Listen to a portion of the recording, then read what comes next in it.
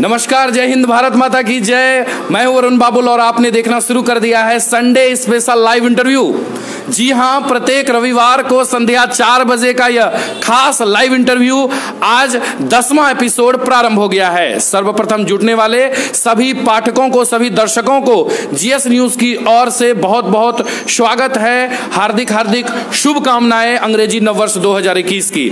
आइए आज के इंटरव्यू की करते हैं शुरुआत, क्योंकि आज हमारे साथ हैं नौगछिया के भाजपा नेता और यह सिर्फ़ भाजपा नेता नहीं, पूर्व सांसद हैं और इनका जो जुड़ाव है, जो नौगछिया को इन्होंने जोड़ा है, वो नौगछिया से पटना, बिहार और पटना से दिल्ली तक का सफ़र एक शानदार रहा है। आइए, आज मिलते हैं भाजपा के वरिष्ठ नेता सह पूर्व सांसद अनिल कुमार यादव से। अनिल जी, आपका हार्दिक स्वागत है जीएस न्यूज़ के इस लाइव इंटरव्यू में। जी। सर आज का यह लाइव इंटरव्यू शुरू हो चुका है। आप जो है, नए राजनीतिक क्षेत्र में जो लोग आ रहे हैं, कहीं ना कहीं आप उनके प्रेरणा स्रोत हैं। तो सबसे पहले सर, आप अपना परिचय दें और उसके बाद हम लगातार जो दर्शक जुड़ते जा रहे हैं, आप सबों से निवेदन है कि जल्द से जल्द इस वीडियो को शेयर कर दें ताकि अधिक से अधिक लोग जुड़ें और इस लाइव इंटरव्यू को वो देखें और इनसे सीधा सवाल जवाब कर सकते हैं। जी, सर। अपना परिचय दें सर। मैं अनिल कुमार यादव जी।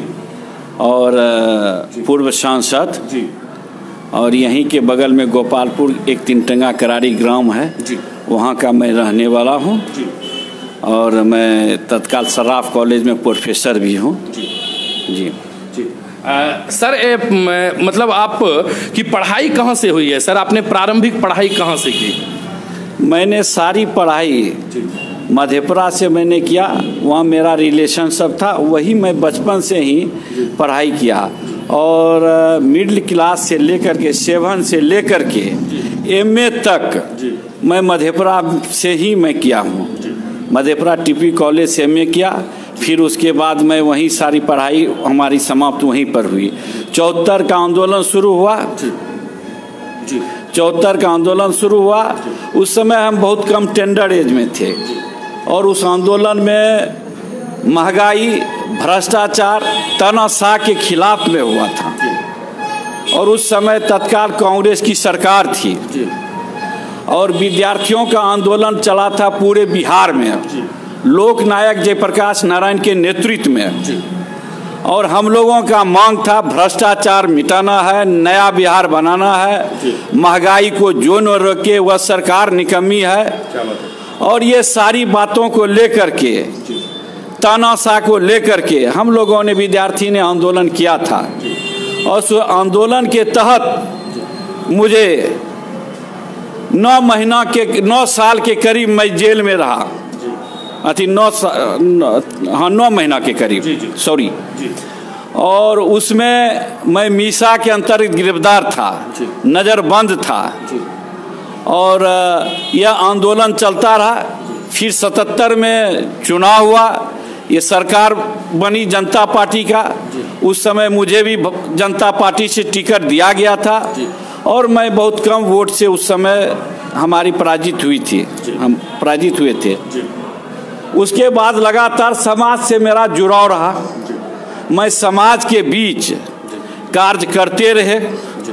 फिर पार्टी कुछ दिन चली। जनता पार्टी मुरारजी भाई का और बिहार में भी जो ठाकुर जी थे और सब थे यह कुछ दिन चली फिर पार्टी दो पा, दो पार्ट हो गया जिसमें कि दोहरी सदस्यता लेकर के भारतीय जनता पार्टी बनी।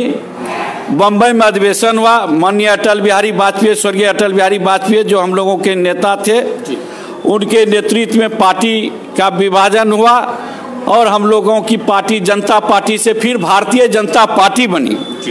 और भारतीय जनता पार्टी के माध्यम से मुझे फिर उम्मीदवार बनाया गया। अस्सी के करीब लगभग में आज नहीं है मुझे। जी जी। तो फिर मैं चुनाव लड़ा। उस समय से कमल फूल था।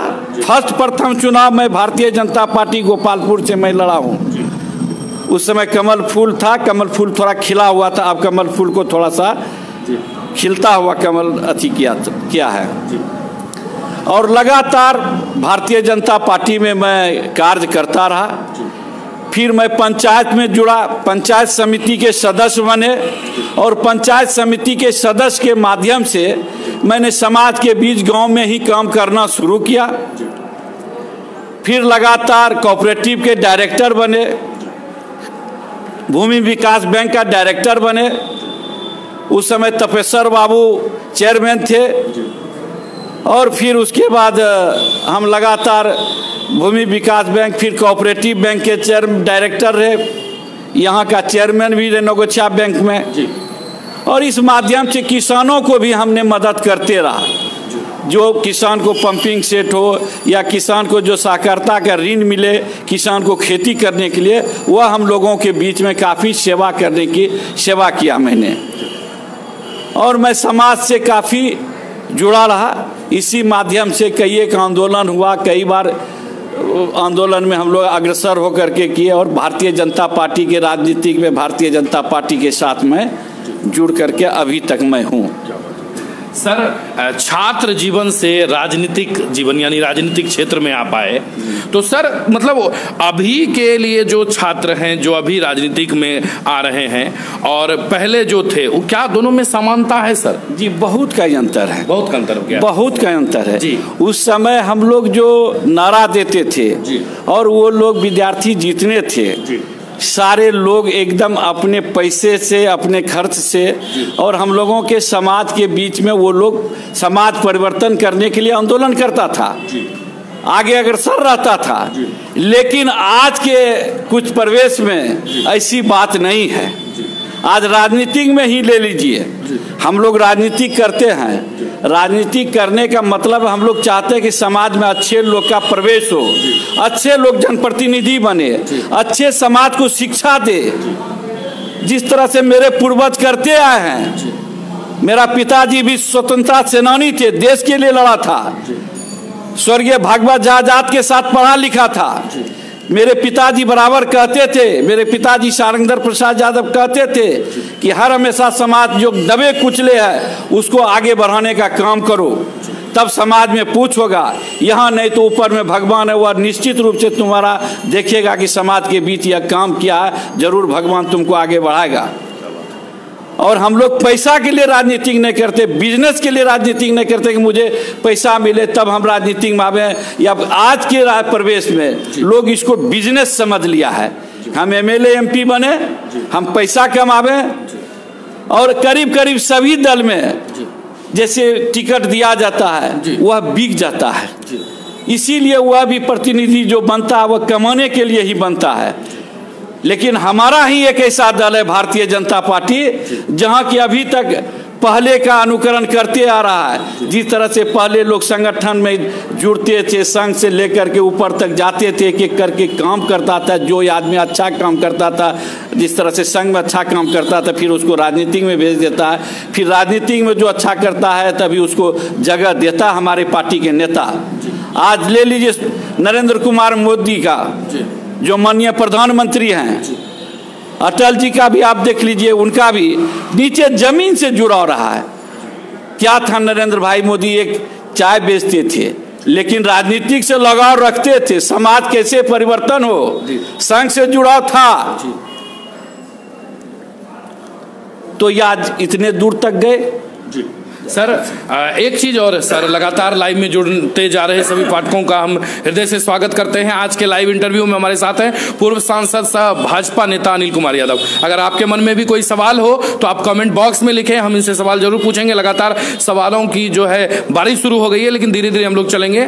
सर एक चीज़ जो जानना था कि अभी का जो स्कूली शिक्षा है सर आपने जो शिक्षा प्राप्त किया है और अभी के बच्चों को जो स्कूली शिक्षा मिल रहा है तो क्या इसका प्रभाव सर राजनीति या अन्य चीज़ों पर भी पड़ सकता है क्या? आपने जो शिक्षा प्राप्त की और अभी का जो बच्चों को शिक्षा मिल रहा है sir?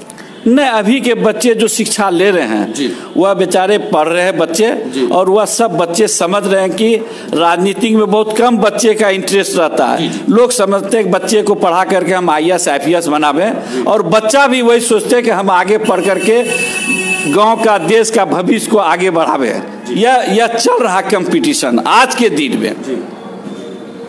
Thank you sir sir एक चीज़ था कि वर्ष 2015 में आप भाजपा के दावेदार थे, भाजपा के साथ आप चुनाव लड़े थे और आपने राजनीतिक करियर भी भाजपा के साथ ही शुरू की है, जैसा इन्होंने कहा भी कि भाजपा से ही राजनीतिक क्षेत्र में जब उतरे तो भाजपा के ही साथ उतरे।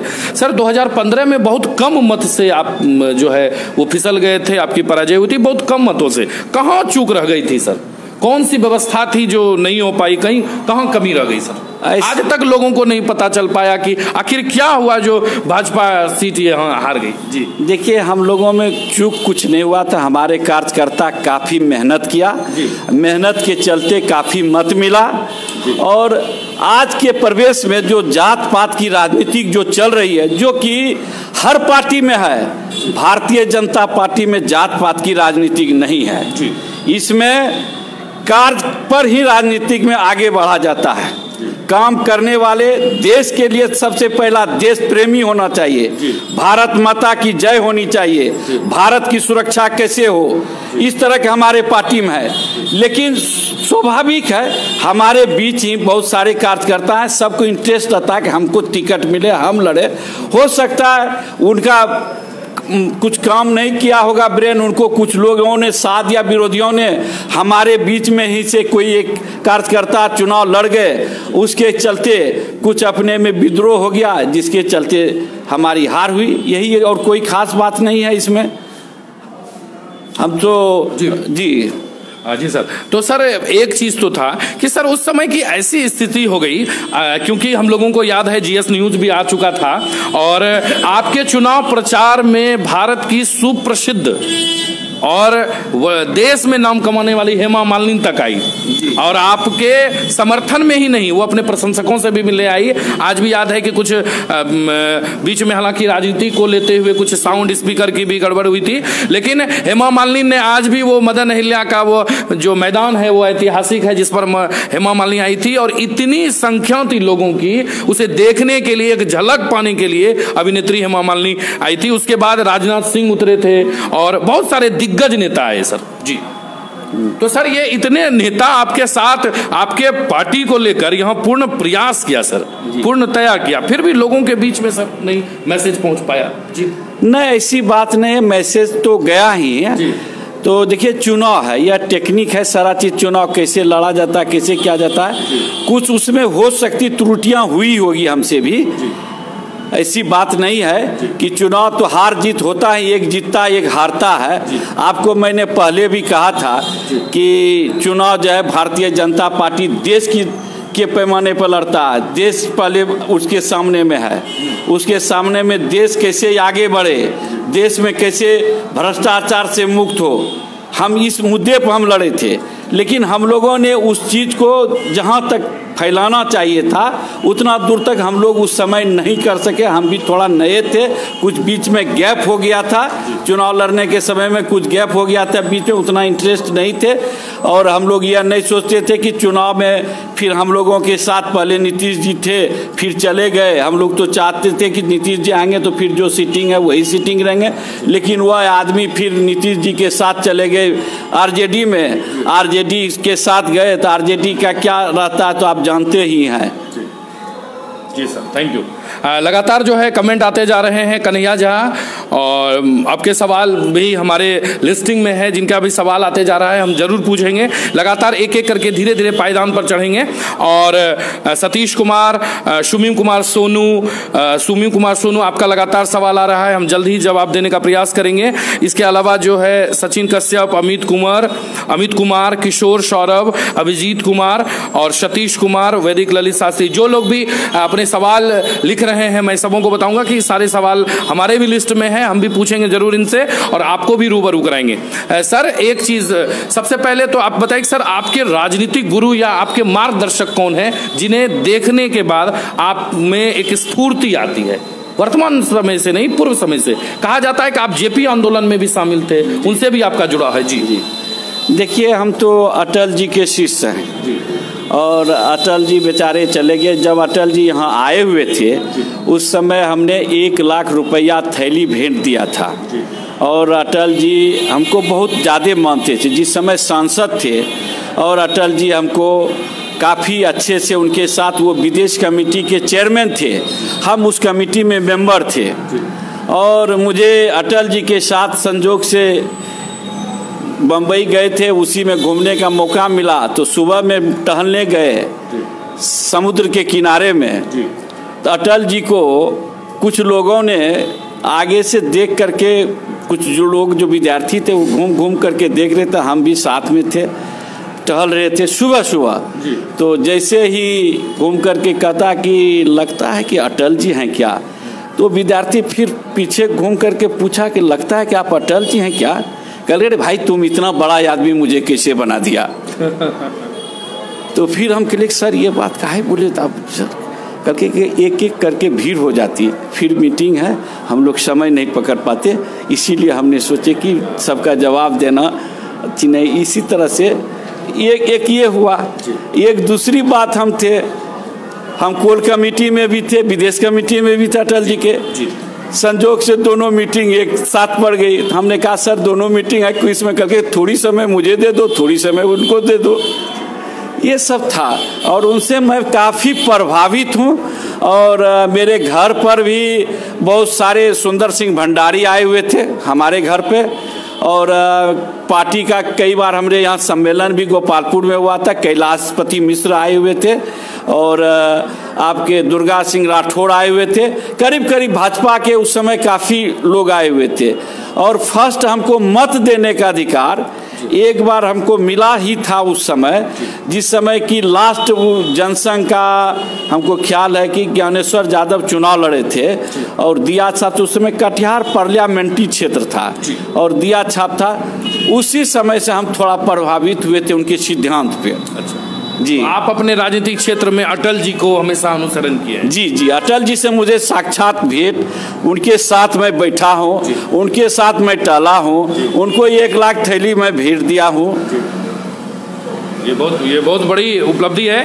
देखिए पहली आ, सर आपसे एक सवाल था हमारा कि आप पहले कभी लाइव इंटरव्यू में आए हैं सर कभी? जहाँ लोग डायरेक्टली आपको देख रहे हैं लोग लिख रहे हैं आपके बारे में। कभी ऐसा मौका मिला है आपको? नहीं कभी कभी मिला वो जिस समय सांसद थे उस समय कभी करने का हाँ, मौका मिला। इतना तो आपके साथ ज़्यादा मिला है। क्या बात है और सर पहली बार लाइव इंटरव्यू में है और फ़ोटो देख करके आपका स्वभाव देख करके मैं जब बहुत थे दूसरे जगह जाने वाले थे लेकिन मैंने कहा कि नहीं आज रविवार है हमारी पार्टी का भी प्रशिक्षण शिविर चलने वाला हर ब्लॉक में तो उसी का मीटिंग चल रहा था तो संजोग से आप देख ही रहे हैं ये सबसे तो हम चले आए। जी जी यही सबसे बड़ी उपलब्धि है। लगातार लोगों के लगातार हमारे पाठकों के सर आते हैं कि उनको लाया जाए उनको लाया जाए और आपको लोग इसलिए भी देखना चाहते हैं क्योंकि आपने नौगछिया से दिल्ली तक का सफ़र देखा है। तो नौगछिया एक नौगछिया दिल्ली किस तरह देखता है ये बहुत बड़ी बात है जी।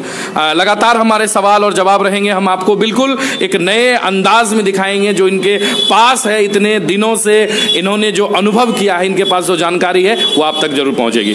आ, सर एक था कि 2021 का जो अभी का सर वर्तमान राजनीति है और पहले का जो राजनीति था दोनों में काफ़ी असमानता है सर समानता नहीं है। क्या सर आप 2021 के राजनीति से संतुष्ट हैं सर? अभी वर्तमान की जो राजनीति है सर आप एक लंबे समय से है सर देखिए 2021 की जो राजनीति अभी जो चल रहा है, देखिए, जैसे अब तो चुनाव हुआ है, सरकार बनी है, सरकार अच्छी चल रही है, सुशासन की सरकार है, और नीतीश जी सुलझे हुए आदमी हैं, क्योंकि चौहत्तर के आंदोलन में मेरे साथ था वो, और बहुत सुलझे हुए आदमी हैं, और उनके नेतृत्व में हमारी पार्टी की सरकार दोनों मिल करके चला रहे हैं तो कहीं हमको ऐसा नहीं बुझा रहा बहुत अच्छे से सरकार चल रही है। और जहाँ तक इक्कीस का बात है तो अभी तो अब शुरू ही हुआ है। मुश्किल से बहुत कम ही दिन हुआ है सरकार बनाने में। 2021 20 हाँ तो हम तो अच्छा चल रहा है। अभी सरकार अच्छी चल रही है बहुत बढ़िया चल रहा है। सुशासन की सरकार है। आ, सर अब हमारा सवाल है सर कि जिस समय मोदी जी सरकार में आए थे सर उसी समय नवगछिया का एक मुद्दा जो रेलवे ओवर ब्रिज का था सर वो शुरुआत हुआ जो रेलवे के केबिन के पास है सर और मकनपुर चौक एन एच से जो नवगछिया बाज़ार आता है अस्पताल सर वो उसी समय से बनना शुरू हुआ है और आश्वासन पर आश्वासन लगातार आश्वासन वो आज तक सर अर्ध निर्मित है और लोगों की अब उम्मीदें धीरे धीरे टूट टूटने लगी है कि वह रोल रेलवे ओवर ब्रिज भी बन पाएगा सर। नहीं ऐसी बात नहीं हमने इस संबंध में बिहार सरकार को भी पत्र लिखा था और मिला भी था। उसमें कुछ रेलवे और पीडब्ल्यूडी का जो मंत्री थे उस समय नंद किशोर बाबू उनसे मिले थे। कुछ ऐसी बात है टेक्निकल जो कि हमको जानकारी उतनी नहीं है। कि हाइट के चलते है कि किस चलते है इसलिए कि टेक्निकल ही उसको बतला सकता किस कारण से रुका हुआ है। और जैसा आप बोले हैं कि किसमें वो पूरा हो जाएगा सर 2014 से ही बनना शुरू हुआ है जी जी हम हम हमको भी प्रॉब्लम है हम भी जाते आते रहते उसको करके। जी जी। लेकिन वह जैसा हमको मालूम है कि जल्द ही वह कार्य पूरा कर दिया जाएगा। जी। जी। जी। आ, सर एक था कि नौगछिया बाज़ार में जो है सर एक जाम लगना आम बात हो गया। जी, जी। विगत कुछ महीने से हालाँकि नए जो है कानून को लाया गया और सॉरी नया नियम बनाया गया। बाज़ार में वाहनों के और टोटो वाले को रोक दिया गया है एक जनवरी से।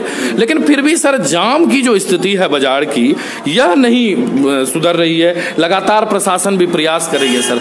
आम लोगों को काफ़ी कठिनाई होती है ट्रेन पकड़ना हो किसी को अस्पताल जाना हो तो जाम इतना रेलवे वही मकनपुर चौक से ही लगा हुआ रहता है सर बाज़ार में तो और स्थिति भयावह हो जाती है। देखिए ये तो नगर पंचायत जो है अभी उनका काम है ये देखना। और हमारे प्रशासन ने तो अपने तरफ़ से ये कर दिया कि ठीक है टोटो वहाँ लगे सब चीज़ वहाँ लगे। ये बात हम देख रहे हैं। तो लेकिन नीचे जो बाहर में जो फल वाले हैं ये हैं ये गरीब गुरबा है बेचारे ये सब भी अपना बिज़नेस करते हैं इसी पर अपना रोजी रोटी चलता है सब्ज़ी वाला है। तो अब उसको अगर हटा दिया जाएगा तो जाम तो लेकिन उसको कैसे हटाया जाएगा? उसका भी रोजी रोटी है सवाल है। तो यह तो ढंग से इसको लगाने के लिए तो प्रशासन और नगर निगम दोनों मिल करके ही करेगा। नहीं सर लगातार मतलब सर आखिर कोई ना कोई तो सर मास्टर प्लानिंग बनानी ही होगी क्योंकि जनसंख्याएँ लगातार बढ़ती जा रही है वाहनों की संख्या बढ़ती जा रही है। वो वो सरकार निश्चित रूप से बना रही है और सरकार इस पर काफ़ी उनकी सोच है कि जितना जल्दी हो इस जाम को किसी तरह से अति मुक्त किया जाए क्योंकि बहुत लोग जाते हैं राजधानी पकड़ने के लिए बहुत सारी गाड़ियाँ छूट जाती है। तो करेंगे वो कर रहे हैं उनकी जो काम है उनका वो करेंगे। ये तो लगातार सर ऐसा भी कहा जा रहा है कि बाज़ार में अतिक्रमण बहुत ज़्यादा है। इस मतलब कि लगा बाज़ार की स्थिति जो है वो अतिक्रमण काफ़ी अधिक है। इसको लेकर भी ऐसी समस्या इसके लिए तो नगर पंचायत के जो चेयरमैन है उनको इसकी इसके बारे में सोचना चाहिए उनकी सोच होनी चाहिए अतिक्रमण क्यों है? जी। क्योंकि सब संस्था के लिए अलग अलग सब चीज़ बना हुआ है। जी जी। मुखिया का काम है ग्राम पंचायत को सुधार करना। जी। नगर पंचायत का काम है नगर के जो चेयरमैन है उसका काम है इसको कैसे हम नगर को सजावे? जी। सबका ही अपना अपना काम बटा हुआ। प्रशासन का काम है हम नगर पंचायत को सहयोग करें। प्रशासन का काम है पंचायत में कहीं दिक्कत हो रहा है तो उसको कैसे हम मदद करें? सबका सिस्टम बना हुआ सिस्टम के माध्यम से अपना सब करवावेंगे।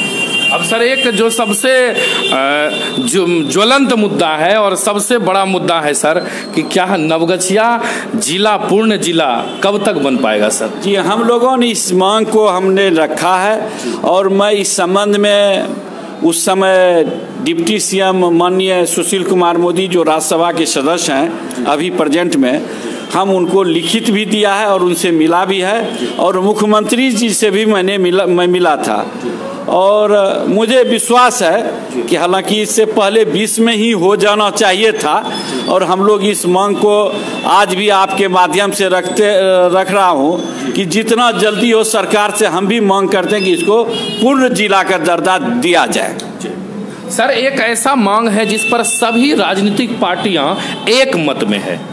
फिर भी सर लगातार अभी सर डबल इंजन की सरकार है एनडीए की सरकार है सर तो जदयू का भी यही मांग है बीजेपी का भी यही मांग है राजद और वामपंथी कोई भी सर इसके विरोध में नहीं है सब है फिर भी सर अटका हुआ है मामला। देखिए जहाँ तक सवाल है जी। ये तो बहुत सारी ऐसी मांग है कि जनप्रतिनिधि को आवाज़ उठाना चाहिए। जी। विधानसभा में। जी। यहाँ से जो जनता चुन करके भेजती है कि विधानसभा में बोलने के लिए कि जो हमारे क्षेत्र की समस्या है उस समस्या को कम से कम रखना चाहिए। लोकसभा में सांसद भेजा जाता है। वो जो लोकसभा के जो समस्या है जो इस क्षेत्र का जो केंद्र सरकार की जो समस्या है वह केंद्र में आप रख सकते हैं। ये तो हम जनप्रतिनिधि से मैं आग्रह करूँगा कि आप ज़रूर इस चीज़ को रखें कि जिला को कितना जल्दी पूर्ण दर्जा दिया जाए। हम लोग जनप्रतिनिधि थे। हम भी आपके माध्यम से ही बोल सकते हैं। रोड पे धरना दे सकते हैं प्रदर्शन कर सकते हैं लेकिन सत्ता में है। उस उसको हम देखते हुए हम भले कुछ कर सकते हैं। हम बोल सकते हैं लिख सकते हैं पत्र लिख सकते हैं। सर, इस जिला के बाद एक जो, सर, बहुत ही मतलब अभी वर्तमान की भी स्थिति है, लगातार ऐसा कहा जा रहा है कि कोरोना काल के बाद, सर, नौगछिया पुलिस जिला में अपराध चरम पर है। ऐसा कोई भी एक दिन, दो दिन नहीं जाता है, सर। एक इतना बड़ा झंडापुर में लूट कांड हुआ, सर। लूट कांड का उद्भेदन हो गया, पुलिस की बड़ी उपलब्धि है।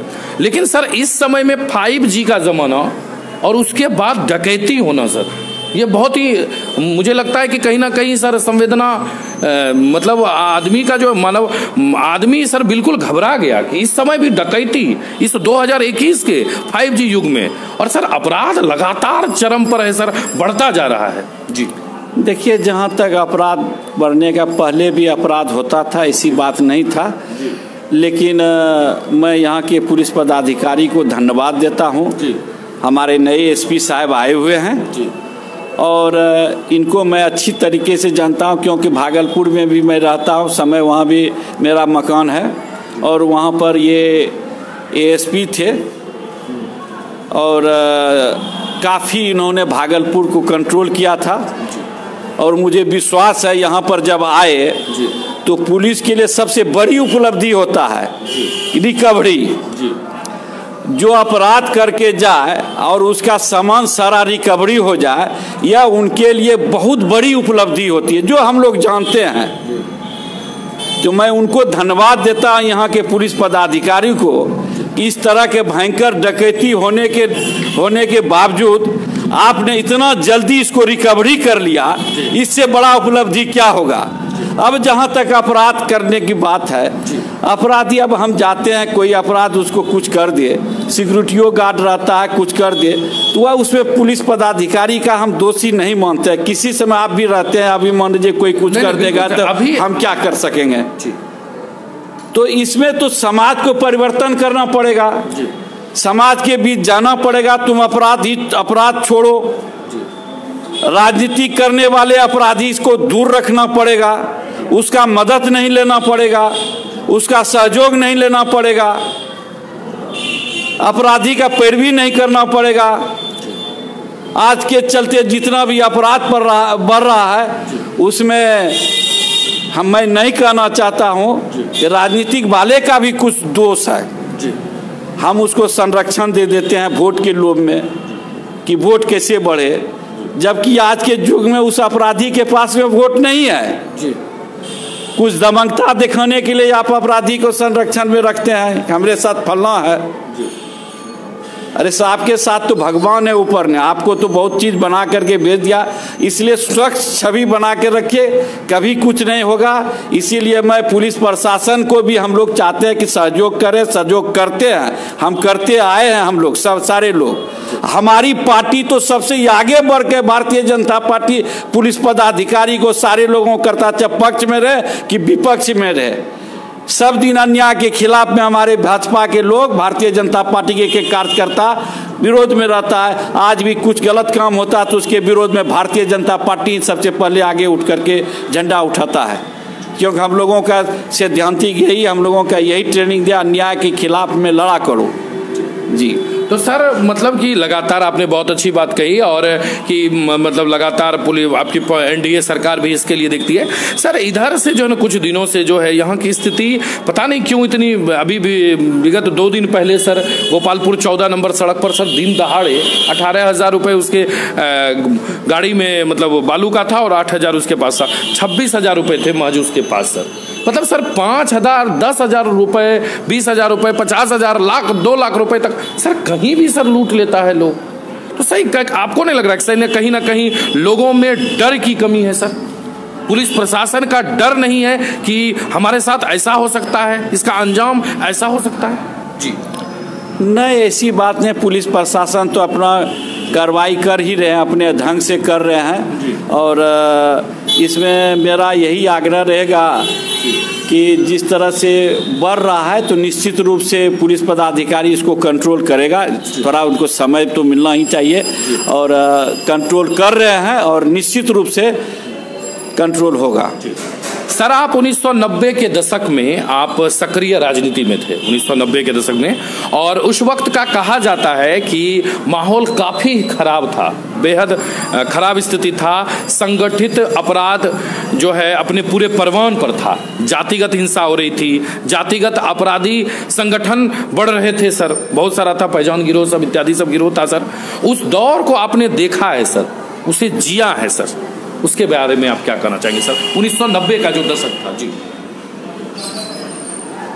देखिए उस समय का तो उतना हमको नहीं है याद नहीं कर सकते हैं। 1990 में जो। हुआ था तो मान लीजिए देखिए हम तो एक शब्द बोल दिए कि अपराध उसी हालत में बढ़ता है कि अगर राजनीति करने वाले अपराध को मुक्त करने के लिए एक एजेंडा रख दे कि अपराध मुक्त करें। जिस तरह से हमारे भारतीय जनता पार्टी एकदम पूरा अपराध के विरोध में रहता है तो उसी तरह से सब पॉलिटिकल पार्टी मिल के अपराध के विरोध में एकजुट होकर के इसके विरोध में अपराधियों को सजा दो अपराधियों को अवलंब पकड़ो। सबको एकजुट होना पड़ेगा और समाज को भी परिवर्तन करना पड़ेगा। जो अपराधी तो समाज में ही रहते हैं। कहीं बाहर तो नहीं रहते उनका कुछ नहीं। तो उस समाज को पहले परिवर्तन करना पड़ेगा समाज को उसको बहिष्कार करना पड़ेगा हर मामले में। वैसा समाज बनाइए जो कि उसको बहिष्कार करे, उसका विरोध करे कि तुमको जिस तरह से पुराने ज़माने में गलत काम करने वाले को पानी तक पीने के लिए नहीं कुआँ पर जाने देता था। उनको अलग बार देता था कि तुमको सब चीज़ हुक्का, पानी जो सब कहावत में था, बंद कर देता था। उसी तरह से समाज ऐसा बने जो निचले स्तर से जो ऊपर समाज बनाता, जनप्रतिनिधि चुनता, मुखिया से पंचायत से लेकर के एम पी एम एल तक, उस समाज जब तक हमारे बीच में उसको ठीक करके ऐसे अपराधी का विरोध नहीं करेगा तो तब तक ये समाज परिवर्तन नहीं हो सकता। है सर, एक चीज़ और हम पूछेंगे, सर। लगातार, सर, पूर्व से ही देखा जा रहा है। अभी, सर, इस युग में भी, सर, जमीनी विवाद काफ़ी बढ़ रहा है, सर। ज़मीन विवाद से ऐसा कहा जाता है कि प्रत्येक घर का तीन में एक परिवार, दो में एक परिवार ज़मीन विवाद से। जी ऐसी बात है, ये पहले से ही यानी कांग्रेस सरकार के समय से ही इस तरह का विवाद चलते आया है। और इससे पहले जितनी भी सरकार बनी कांग्रेस की ही सरकार बनी थी कभी उन्होंने सुलझाने का काम नहीं किया। और अभी जो हमारी सरकार बनी है यह ज़मीन विवाद को सुलझाने के लिए हर शनिवार को थाना में ही अंचलाधिकारी कर्मचारी के साथ बैठक होता है और बराबर इस चीज़ को सुलझाने में लगे हुए हैं। और काफ़ी सुलझ भी रहा है। इसी तरह का चल रहा है। अभी हर शनिवार को चलता सप्ताही में होता है और हर अंचल में, थाना में बैठता, थानेदार बैठते हैं और वहाँ के जो झंझट जिसके ज़मीन विवाद है, उस दोनों पार्टी को बुलाते हैं, बैठ करके कागजात देखते हैं और उसी बीच उस जगह सुलहनामा सुलझाते हैं।